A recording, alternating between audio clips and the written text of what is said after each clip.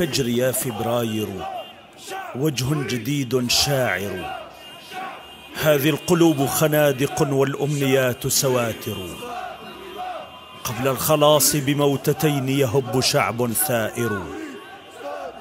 لا شيء يعدل ميتة هي عمر شعب آخر. وكان الفجر الجديد وكان الشعب على موعد مع جذوة الحرية على طور الثورة.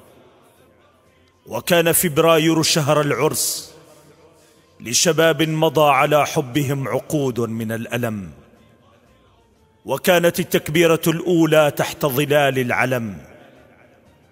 بنغازي التي ألقيت في اليم ألقتها الثورة إلى ساحل المجد من جديد.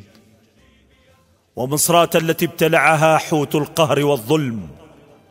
أظلها يقطين الخلاص بعد سنين. وطرابلس التي أدركها فرعون الظلم.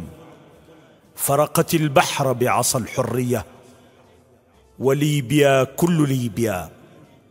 ركبت على براق الخلاص بعد حجارة من الطائف وعقود من الدماء. ثم كان النصر الخالد بعد ثمانية أشهر من الشهداء. وما تزال برقة الثورة تحمل مطر الخلاص.